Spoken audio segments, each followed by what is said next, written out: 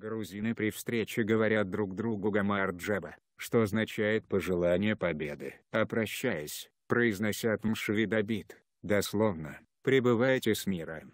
По правилам салдости военные традиции занимают огромное место в древнейшей грузинской культуре. Так складывалась история этой страны, веками воевавшей за свою свободу и независимость. Основы военного дела грузины осваивали с детства в горных монастырях. Вплоть до начала 20 столетия в каждом регионе Грузии имелись места, отведенные под состязания в боевых искусствах. Они проводились в виде военных маневров с участием тысяч людей, сражавшихся по правилам салдости, с применением деревянного оружия. В Грузии сегодня считается, что каждый настоящий мужчина должен уметь управляться с оружием, быть отважным и решительным. Грузинская народная традиция призывает мужчин быть воинами по духу, и в мирное время каждый представитель сильного пола отвечает за безопасность окружающих его женщин, детей и стариков. Даже национальная одежда грузинского мужчины скроена так, чтобы в ней было легко воевать. В папахе из овчины не холодно зимой и не жарко летом, а на Черкеске есть специальное место для патронов и кинжала. В Грузии всегда существовал культ оружия. Ему отводилась роль священного предмета, который служит во благо хозяина. Мужской костюм без оружия считался неполным.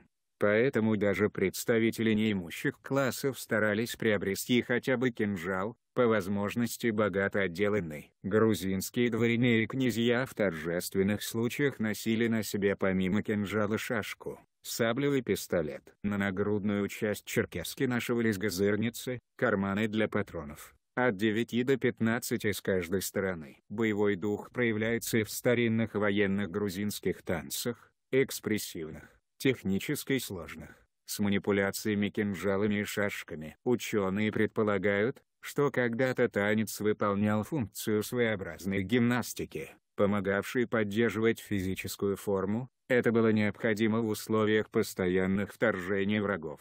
Непрерывная борьба за свою землю сделала грузинский народ гордым, смелым и твердым, но при этом сформировала у грузин бесконечную любовь к самому главному в жизни – семье, детям, старикам и друзьям. И, конечно, мирному труду. Не случайно на гербе Грузии изображены меч и виноградная лоза. Грузинские гусары после падения Византийской империи в 1453 году Грузия оказалась рядом с двумя сильными агрессивными государствами – Турцией и Ираном. Начиная с 15 века грузинские цари не раз обращались за помощью к России. В 1738 году был заключен Георгиевский трактат закрепляющий протекторат России над восточной частью страны, а в 1801 манифест Александра и оформил прикрепление Грузии к России, по обращению последнего грузинского царя Георгия XII. С этого момента история Грузии, в том числе и военная, тесно переплетена с историей России. Еще в 1738 году в российской армии была сформирована грузинская гусарская рота,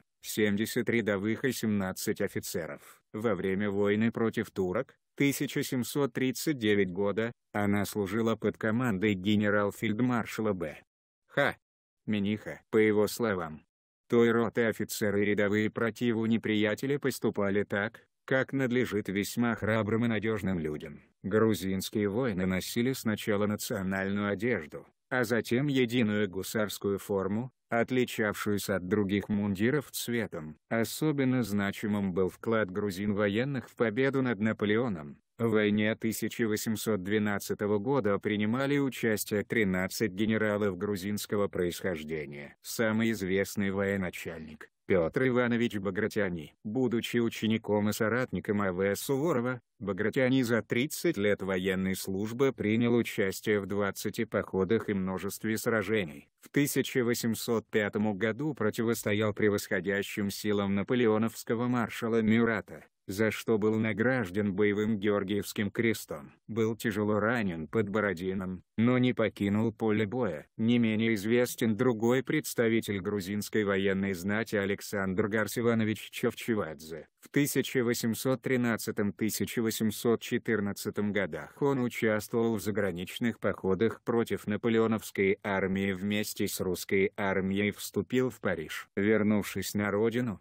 занимал видные военные и гражданские должности, участвовал в турецкой и персидской кампаниях, в тбилисском салоне выдающегося поэта, переводчика, общественного деятеля Александра Чевчевадзе бывали Аяс Пушкин и М.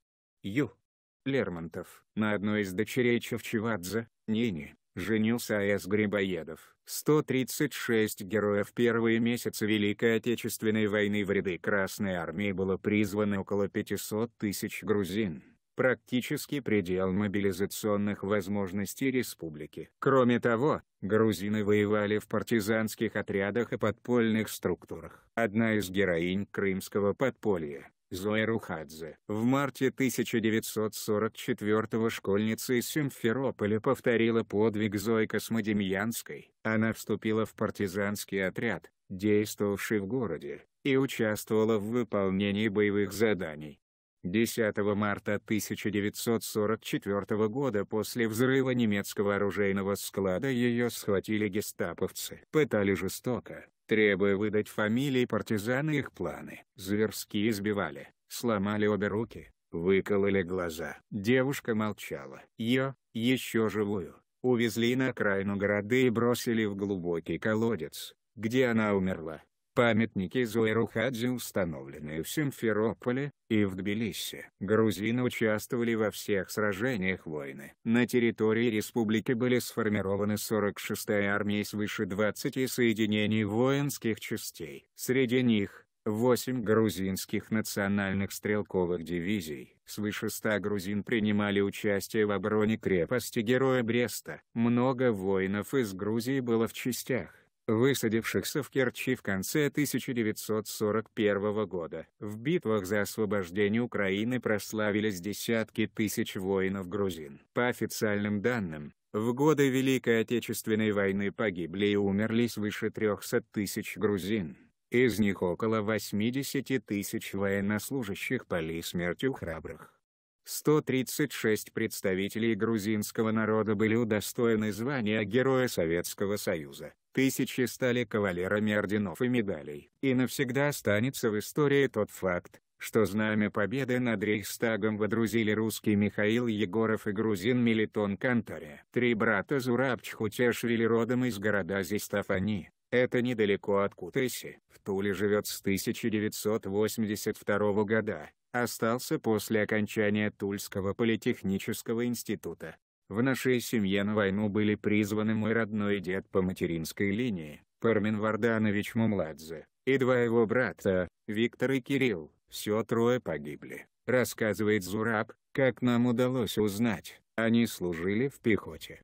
Скорее всего были отправлены в Керчь по документам. Кирилл погиб в мае 1942 года. Виктор, в марте 1943 -го. Мой дед, Пермин. В июне 1944 год. А мобилизован он был в первый день войны, 22 июня 1941 года, прямо со стрельб. Дед был военным и как раз в эти дни в горах тренировал новобранцев. Зураб Заурович вспоминает, что бабушка Елена до последних дней ждала мужа, ведь семье сообщили, что он пропал без вести. Отец Зураба уже в 70-е рассылал запросы, пытался найти хотя бы какую-нибудь информацию о родных жены. Удалось выяснить немногое. Самое печальное, что до сих пор неизвестно, где похоронены братья Мумладзе. А у моей жены Манана воевала тетя. Нина Мелитоновна Джилагуа, говорит Зураб, она была военным медиком, дошла до Берлина. В 1987 году ее наградили Орденом Отечественной войны и два степени. В Грузии с глубоким почтением относятся к памяти своих погибших родных. В грузинских семьях, живущих в Туле, обязательно отмечают 9 мая. По словам Зурабыч Хутешвили, так же, как это принято у русских, собираются за столом, поднимают бокал за тех, кто воевал, кто погиб на фронтах Великой Отечественной. Говорят длинные, многословные, в соответствии с грузинскими обычаями, тосты и обязательно чокаются. В Грузии считают, что человек жив, пока о нем помнит. Понравилась статья? Ставь лайк и подписывайся на канал. Оставляйте ваши комментарии, обсуждайте статью, а также делитесь в социальных сетях.